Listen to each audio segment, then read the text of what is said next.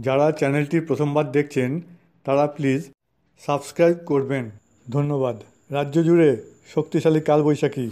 শুক্রবারের পর শনিবারও জোরালো কালবৈশাখীর সম্ভাবনা গোটা রাজ্য জুড়ে। বিভিন্ন জায়গায় মাঝারি থেকে শক্তিশালী কালবৈশাখী বয়ে যাওয়ার সম্ভাবনা রয়েছে। সেই সঙ্গে বিক্ষিপ্তভাবে ভারী বৃষ্টি এবং শিলাবৃষ্টির সম্ভাবনা রয়েছে।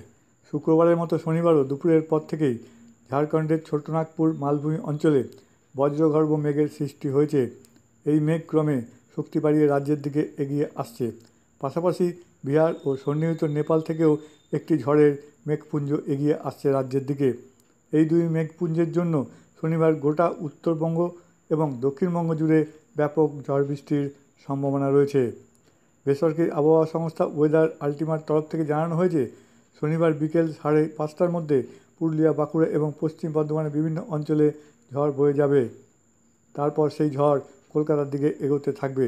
তবে মুর্শিদাবাদ, বীরভূম, নদিয়া এই তিন জায়গায় ঝড়ের ব্যাপক প্রভাব পড়তে পারে। সেখানে শিলাবৃষ্টি ও সম্ভাবনা রয়েছে। এদিন রাত দশটার আগেই কলকাতায় আছড়ে পড়তে পারে ঝড়। এখানে উল্লেখ করা যেতে পারে, ইতিহাসের অন্যতম শক্তিশালী কালবৈশাখী দেখেছিল শুক্রবারের কলকাতা। যার সর্বোচ্চ গতিবেগ ছিল ঘন্টায় প্রায় নিরানব্বই থেকে একশো পাঁচ কিলোমিটার। এর ফলে শহরে বিভিন্ন জায়গায় গাছ পড়ে যায়।